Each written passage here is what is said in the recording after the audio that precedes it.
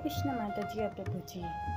My name is Bhumi Gupta, class twelfth commerce आज मैं आपको भगवद गीता अध्याय बारह सुनाने जा रही हूँ।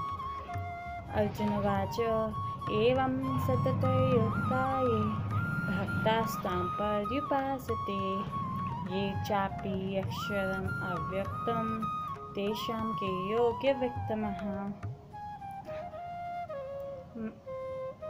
योग्यव्यक्तमः श्रीभगवानुवाच मय्यावेशमनो ये माँ उपासते श्रद्धाया पर्युपेतास्ते मे युक्ततः मतः। ये तो वक्षरम् अनिर्दिश्यम् अव्युक्तं पर्युपासते। सर्वत्र अचिन्त्यं च कूटस्थम् अचलं ध्रुवम्। असंनियमेन्द्रिये ग्रामीमं सर्वत्र समबुद्धे ते प्रापुण्यन्ति मामेव सर्वभूतेः ते रता क्लेशोऽधिकतरस्तेषाम् अव्युक्तासक्तचेतसाम् अव्युक्ता हि गतिर्दुःखं देहवधिर् अवाप्यते। ये तु सर्वाणि कर्माणि मयि सनन्यस्मत्परः अनन्येव योगेन मां ध्यानन्त उपास्यते।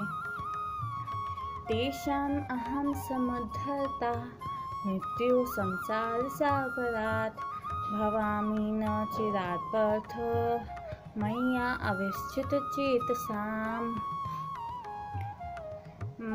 मय्येव मानाधत्स्व मयि बुद्धिं निवेशय निवेशसि मय्येव अथ ऊर्ध्वं न संशय अथ चिन्तं समाधातुं न शक्नोषि मयि स्थिरम् अभ्यासे योगेन तथो मामिच्छाप्तुं धनञ्जय। अभ्यासेऽपि असमर्थोऽसि मत्कर्मो परमो भव। मद अर्थम अपि कर्माणि अवाप्यसी अवाप्यसि हरे कृष्ण हरि बोल